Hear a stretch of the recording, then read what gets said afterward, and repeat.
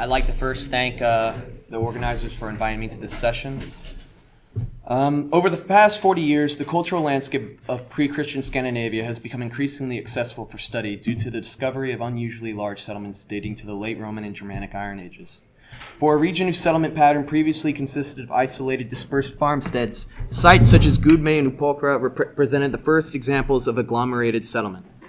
Characterized by long distance trade, specialized production, internal organization, large populations, uh, uh, sacred spaces, and large hinterlands, many argue that these settlements were the first centers of Iron Age Scandinavia.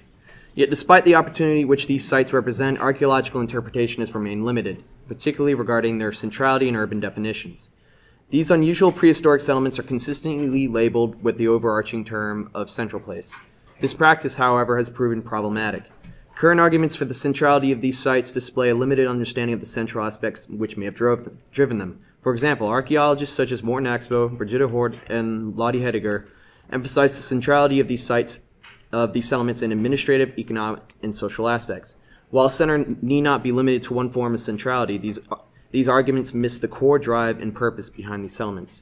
Urban definitions are also an issue, as some scholars argue that these settlements represented the first Scandinavian towns, while many others suggest strictly non urban definitions.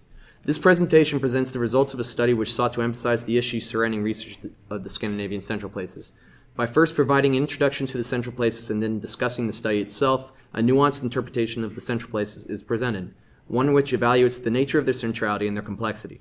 Before beginning, however, it must be noted that due to 15 minutes, this presentation only presents the primary points reached. Those seeking further information may contact me.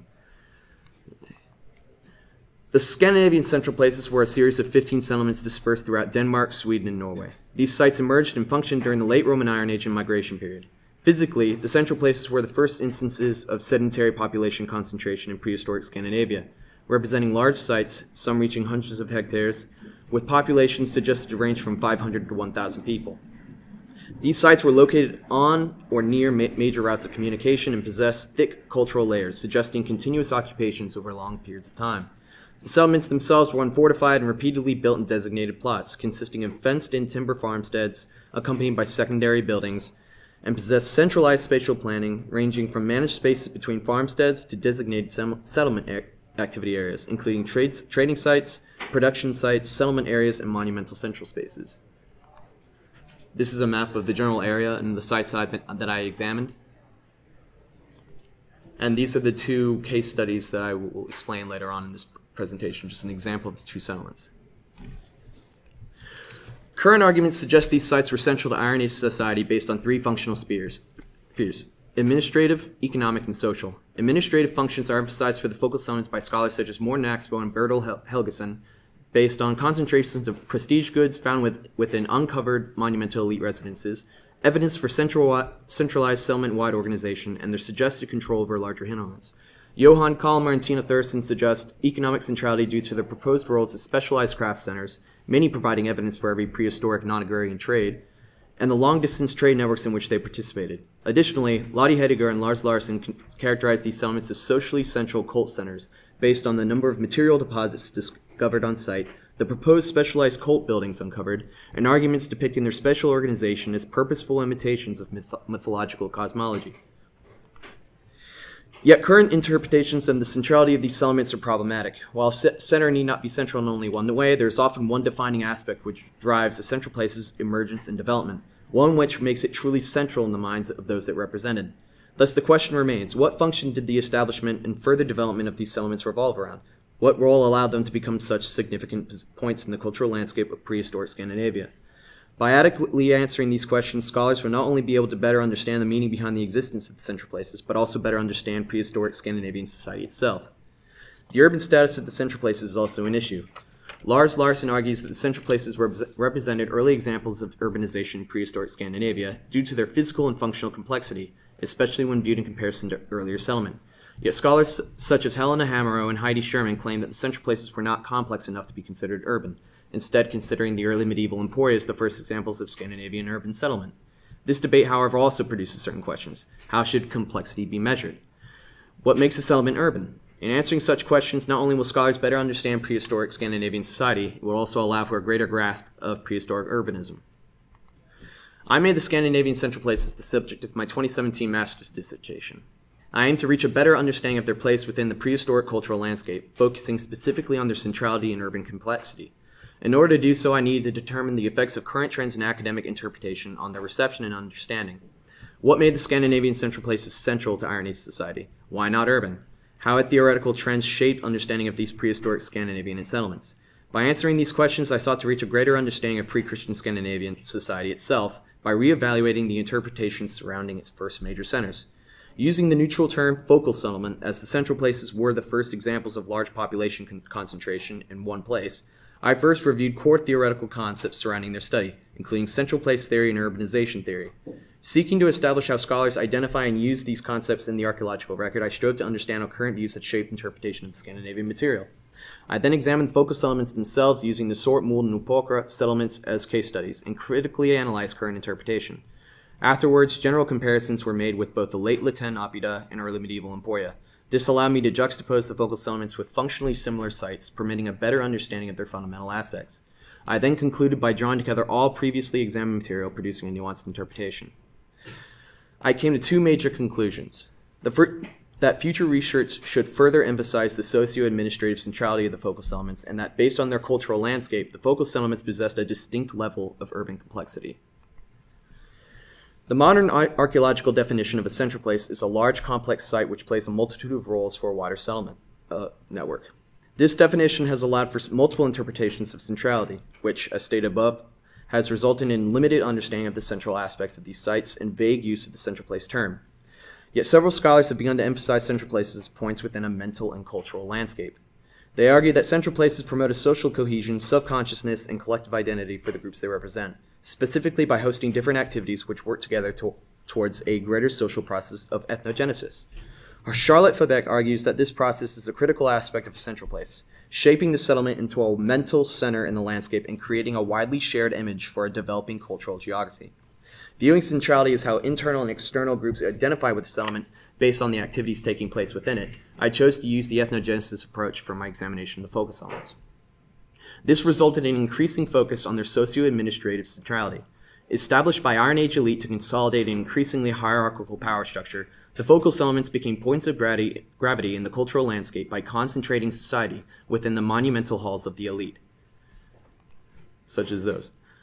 Whereas earlier Scandinavian society had previously marked out distinct areas in the landscape for different aspects of society, the central halls of the Iron Age focal settlements focused a wide array of activities into a single spot, including religious ceremonies, markets, and important administrative meetings. This in turn both focused all aspects of Iron Age society under the direct control of the elite and created a symbol which delimited the sacro-political space of the surrounding area. As a result, elite driven collective identities emerged as the use and maintenance of these sites created collective memories, investing them with powerful social significance. Reflected by an observed decline in regional differentiation of material culture and increasing social cohesion. These collective identities advertised and reinforced the increasing control of the ruling class, presenting powerful individuals in the settlements they administered as the new centers of prehistoric Scandinavia. The focal settlements were thus socially and administratively central to Iron Age Scandinavian society, representing an elite strategy which reinforced and reflected their increasing power through the creation of collective identities and memories. By establishing these settlements and concentrating the Scandinavian world within their halls, the elite created points in a developing cultural landscape which influenced the groups they controlled, encouraging them to act as a single cultural unit. While each of these sites functioned in several ways, administratively, economically, and social, the activities of these settlements function towards the central socio-administrative purpose of re reinforcing an increasingly hierarchical power structure and placing the controlling elite in the social spotlight. Regarding urban complexity, recent interpretations of, of archaeological urban, urbanism consists of evolutionary checklists where archaeological archaeologists progressively examine settlements and label them urban based on the presence of certain key features – including large size and population, the presence of full-time specialists, taxation, writing, long-distance trade, and monumental public buildings. Yet such checklist approaches are culturally particular and ethnocentric. Scholars using checklist approaches such as V. Gordon Childe and Bruce Trigger developed them based on the key features of stereotypical urban centers, classical and medieval cities. They assume that these centers represent the only form which urbanism can take, resulting in misleading comparisons with prehistoric societies whose contexts were drastically different, and the isolation of settlements from their cultural landscapes. In response, however, scholars such as Jiří Musil and Břeža Gadarska beginning, are beginning to examine settlements within their cultural landscapes, believing that an archaeological definition of urbanism must be culturally relevant. Following a sociological strand of thought, these scholars argue that the general change from dispersed farmsteads to agglomerated centers and the behaviors which such change brings should define urbanism. In order to better understand the urban complexity of the focal settlements, I chose to use the sociological approach, examining these sites in association with their surrounding cultural landscape. Through comparisons with both the Oppida and the Emporia, I found that the focal settlements possessed high levels of physical and functional complexity, particularly for their cultural landscape. These settlements were generally characterized by large sizes, a layout indicative of a central organizing power, strategic locations on major routes of communication, monumental central places, longevity in occupation, and large populations. Functionally, they were centers sitting at the apex of a settlement hierarchy, functioning as the administrative, social, and economic centers of the respective regions. The focal settlements were each in control of the long distance inter- and interregional trade networks of their regions and were inhabited by populations specializing in non agrarian crafts, communities which may have been supplied by a wider hinterland. Each of the focal settlements also played administrative functions, developing, determining development in their respective regions. If scholars were to continue to use current approaches to urbanism based on comparisons to classical and medieval cities, then the focal settlements would clearly possess the necessary levels of complexity to be considered urban. Yet this should not be how urbanization is examined. Rather than using comparisons to classical and medieval cities, Western preconceptions of urbanism, scholars should further emphasize urbanism in a local and cultural context. The Scandinavian focal settlements represent the first examples of large scale permanent population agglomeration in a cultural landscape previously characterized by isolated roaming farmsteads and villages. Following the sociological approach, the focal sites would thus be classified as urban settlements for, their cultural, for the cultural context based on their, the change they represent yet they have consistently been defined as non-urban settlements due to their differences to classical and medieval cities. Future scholarship should strive to understand what urbanism means within a specific cultural landscape. By allowing classical and medieval cities to set the standard for urbanism in the archaeological record, the characteristics which make each different society unique are lost in ethnocentric attempts to find the Western idea of the urban form in contexts which experience their own particular form of urbanism. Who is to say that the concentrated focal settlements do not represent urbanism for prehistoric Scandinavia? Scholars cannot assume that urbanization will take a similar form in every cultural context. Urbanism instead needs to be studied based on the form that would be relevant to its wider cultural context. In closing, my study pr- presented the focal settlements as socio-administratively central settlements, representing a distinctly Scandinavian form of prehistoric urbanism. Emerging during a period of social change in Scandinavia, these sites represented the concentration of both different aspects of the cultural landscape and previously dispersed populations into single points, resulting in elite driven collective identities, which emphasized these settlements as the new centers of the Scandinavian world. Yet these can only be interpretations of how this settlement type worked generally. There is considerable variation pre- present amongst the, the, the sites labeled focal settlement or central place, including settlement form and size, placement in the landscape, and period of occupation only making general interpretations possible at this time. Future research needs to focus on distinguishing individual sites from this overarching group. How did particular focal settlements service an elite driven collective identity compared to others? How do these regional variations reflect the culture of cultures of local societies? In doing so, not only will scholars be able to rid itself of a vague, vague term, it will also be able to observe the cultural landscape of pre-Christian Scandinavia in even greater detail. These are the copyrighted figures, and thank you.